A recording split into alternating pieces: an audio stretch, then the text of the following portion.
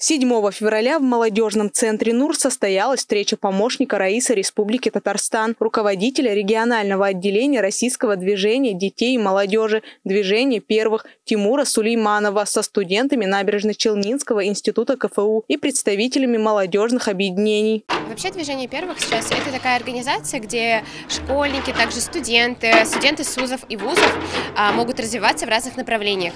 И также ребята, которые занимаются в общественных организациях, они также могут вступить в движение первых, независимо от того, что они где-то уже состоят.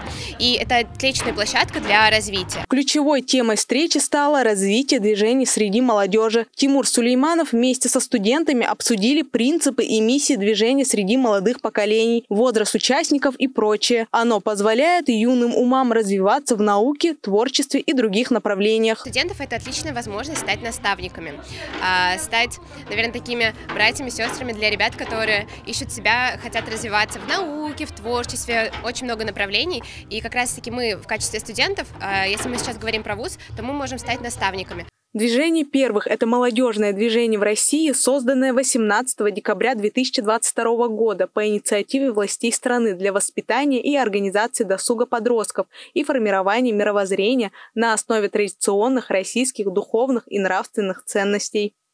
Тагмина Мадатова, Univer News.